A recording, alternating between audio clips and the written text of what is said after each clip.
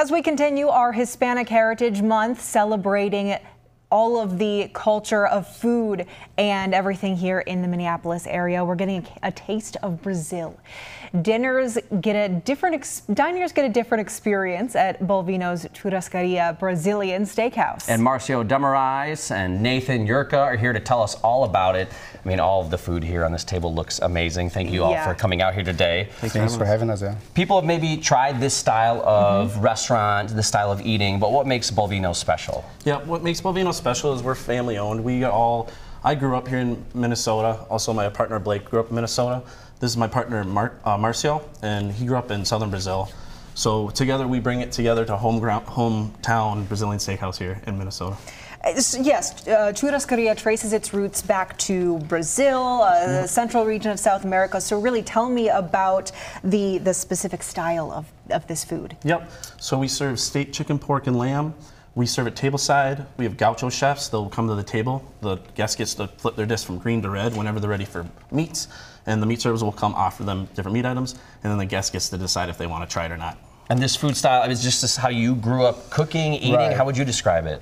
Yeah, so that's a style that uh, I was born and raised in southern Brazil, uh, Rio Grande do Sul, and, uh, and the gauchos there has been doing this for centuries, like doing like the big piece of chunk of meat and cook an open flame fire pit to get the families together. And um, and I came, I moved here 16 years ago, and um, now I built my family here, and I want to bring this culture here to Minnesota. You have the uh, on affordable price. You have the blade on you. I saw you. You were wearing it on your hip. yeah. Like this is a big part of the process. When you right. say you carve the food for everybody, you right. have to carry that with you. Oh, yeah. yeah, all the time.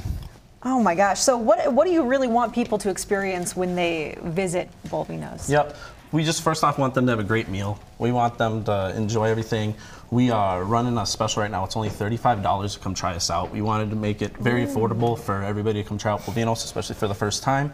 18 different cuts of meat.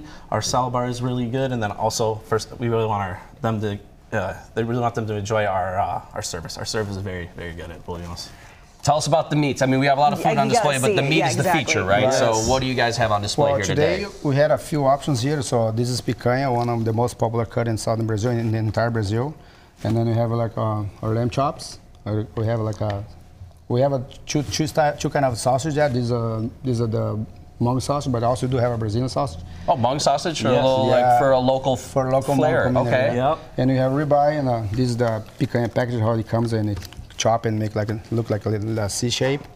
Okay. Yeah. So what did you say this was? So that's called picanha. Okay. So it just it's just roasted with just sea salt. So and uh, and you curve like a very thin slice on table side for with pineapple as well. And also you have a pineapple is caramelized uh, sugar and cinnamon. So and uh, yep, picanha is the prime cut top sirloin.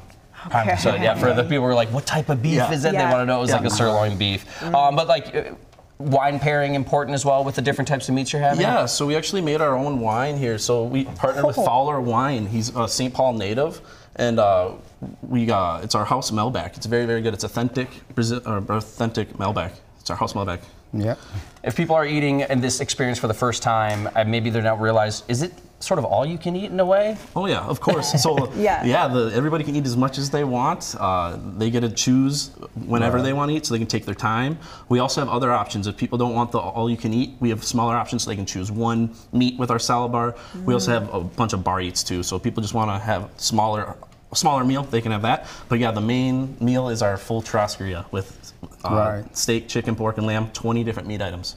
Twenty meats for thirty-five bucks right now. Oh That's my a God. good deal. Thirty-five bucks. Good deal. Fantastic. Thank you both, gentlemen, for coming on and showing us uh, your restaurant and telling us a little about the history of where you're from. We really appreciate it. Oh, thank, thank you. you. so much. Yeah, Bullvino's has locations in Lower Town, St. Paul, and in Bloomington. That's only a year and a half old, right? Yep. Find out more at bullvinos.com.